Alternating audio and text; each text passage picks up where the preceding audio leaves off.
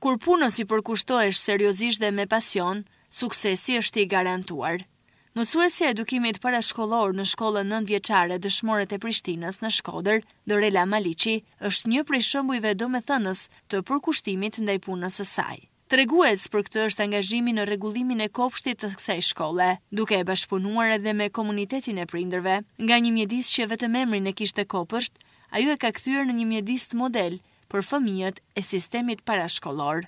Këtu janë disa qendra, qendra e shkrimit, qendra e matematikës, kemi bibliotekën, kemi teatrin e kukllave, kemi ndërthur disa qendra që Besoj se nuk i lënë gja mangut kopshteve private.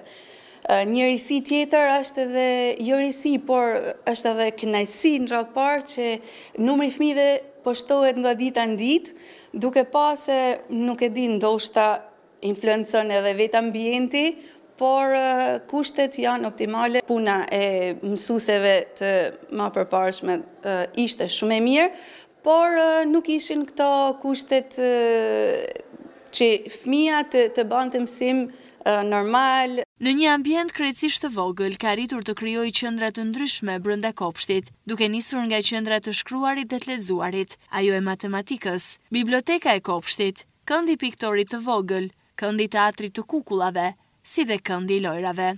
Të mësojmë duke luajtur, është kthyer në moton e këtij kopshti, ku punohet me dashuri dhe shumë përkushtim.